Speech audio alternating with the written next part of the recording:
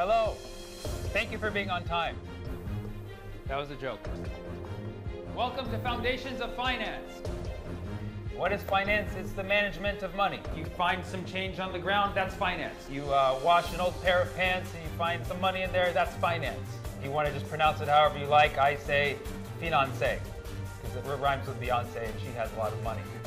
There's this saying that uh, money can't buy happiness. It is true, but at the same time, everything that makes you happy can be purchased with money. Name anything that makes you happy. Hanging out with friends, that normally costs money.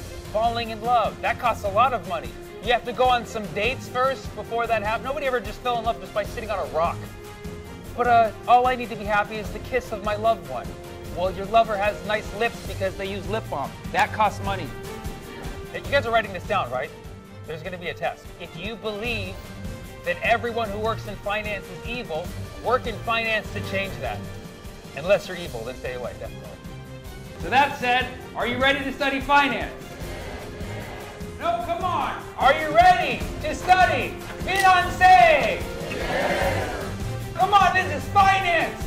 This is my class. Oh, cool, cool. Well, Please very leave. nice to meet you. Yeah. Study finance! It's the best thing you can ever do in your career!